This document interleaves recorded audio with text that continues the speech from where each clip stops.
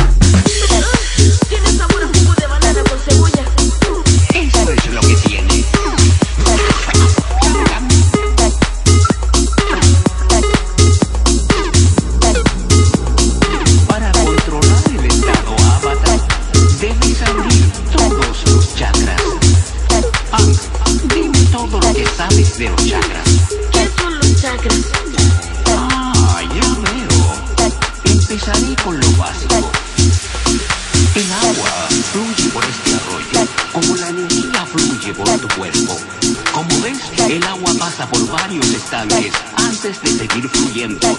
Esos estanques son como nuestros chakras. Entonces, los chakras son estanques de en nuestro cuerpo. Exacto. Si solo hubiera agua, este arroyo fluiría puro y limpio. Sin embargo, la vida es difícil y caen cosas en el arroyo. ¿Y qué crees que pasa? El arroyo es de energía en nuestro cuerpo.